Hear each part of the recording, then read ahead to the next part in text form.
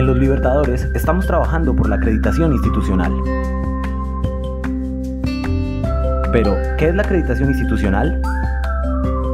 Es un proceso que realizan las instituciones de educación superior voluntariamente para ser reconocidas por la categoría de sus programas, su organización y su funcionamiento. El Consejo Nacional de Acreditación, CNA, analiza desde unos factores institucionales la garantía de calidad de la institución.